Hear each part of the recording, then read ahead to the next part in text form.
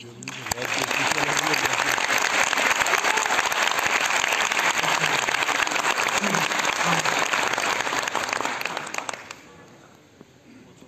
nihayet diyorum.